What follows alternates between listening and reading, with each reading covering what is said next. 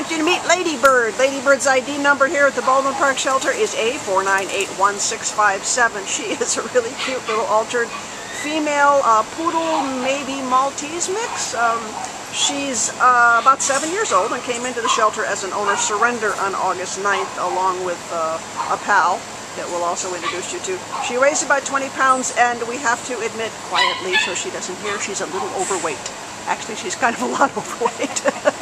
she's a little bit of a sausage there, she's, but she is so sweet. She's very timid uh, coming out of the kennel. She's, uh, you know, nervous here, but as soon as uh, the handler got low in the kennel, she came right over and was very, very friendly. It's hard to see her beautiful little eyes with all of this hair, but she's really, really a doll. She walks very nicely on a leash. In fact, she was quite having quite a good time to walking on the leash, uh, and, and she does so show signs of being housebroken. So she, uh, I'm sure she was somebody's uh, beloved, and I don't know, we don't know why she ended up here, but for some reason they had to surrender her. So she needs a fresh start. She is not a senior yet, but she is seven, so um, it's a little tougher for, for gals this age. Uh, so if this is your kind of puppy, once she gets a spot treatment, she's going to be a knockout. She's really, really cute.